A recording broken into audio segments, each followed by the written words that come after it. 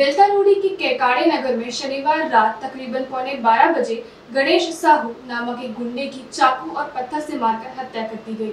उनके साथ ही पीयूष सोनटक के भी उस लड़ाई में बुरी तरह से जख्मी हो गए। मिली हुई सूचना के मुताबिक दिलीप साहू और पीयूष सोनटक के रात को बाइक से जा रहे थे। तभी आरोपी गणेश साहू और उसके साथियों ने उन्हें गाड़ी तेज चलाने से रोका और फिर झगड़ा शुरू हुआ। झगड़े के दौरान पत्थरों से हमला किया गया, जिससे दिलीप साहू की मौत हो गई और पीयूष सोनटक के जख्मी हो गया। इसके बारे में अधिक जानकारी हम पुलिस आयुक्तों से जानेंगे।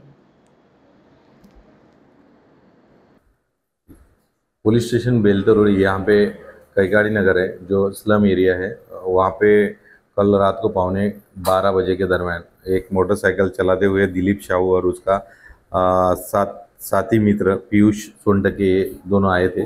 तो इनको गली में ये फास्ट गाड़ी चला रहा था तो इनको टोका कि गाड़ी इतनी फास्ट क्यों चला रहे हो? ये कारण से उनमें बाचाबाची हुई और उनमें झगड़ा हुआ। फिर बाद में इस झगड़े के बाद उन लोगों ने नीचे के पत्थर उठाए और शस्त्र का वापर किया और दिलीप शाहू को उसमें मार लगा। दिलीप शाहू को हम लोगों ने जीएमसी हॉस्पिटल तत्काल पुलिस ने लेके गए और उसका जो साथीदार था, पीयूष सोनटक इसको भी लेके गए।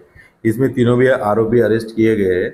इसमें काउंटर गुना दाखिल हुआ है। एक पर 307 और एक 302 और इसमें अभी तपास शुरू है। इसमें मुख्य कारण तो गाड़ी चलाना फास्ट ये था, जो गली में गाड़ी चलाना। और दूसरा था कि दूसरा अभी गणेश बबलू शाहू करके जो आरोपी अरेस्ट किया है, वो उसका साला ही था।